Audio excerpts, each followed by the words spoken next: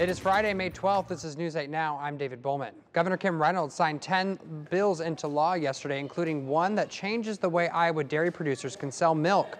Iowans can now produce and sell raw milk, which needs to be sold with a warning label that says it is not subject to state inspection. The city of Muscatine, companies, and the U.S. Army Corps of Engineers are working together on improving the Muscatine Island levee. After 10 years of studies and planning, engineers are now looking to raise the, a three-mile stretch of the levee by one foot.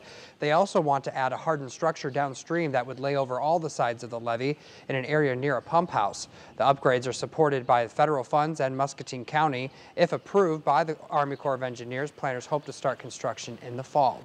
It is a steamy day in the Quad Cities, and we could see more rain this weekend. So let's check in with meteorologist Andrew Stutzke for a look at your Mother's Day weekend forecast. Yeah, David, the humidity sure has made a big comeback today. A very muggy, sticky feeling to the air. That's going to continue as we go through the night and even into tomorrow. There will be a couple of scattered storms this evening, but overall, there will be many dry hours to be found as well, with temperatures falling into the 60s tonight. Tomorrow, though, we need to be on guard for some potential severe storms. That's going to be later in the day.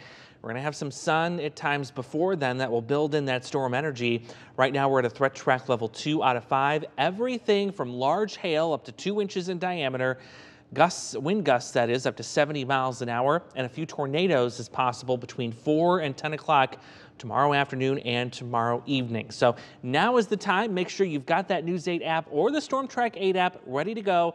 You've got notifications and alerts enabled to get you through the storms that'll be coming in for tomorrow. You can also get a sneak peek at the Mother's Day forecast too by tapping the app. David? All right, thank you. And college students in Iowa may soon see the price of their education go up. That's according to the Iowa Board of Regents, who met yesterday afternoon for the first reading of a proposed tuition hike for next year.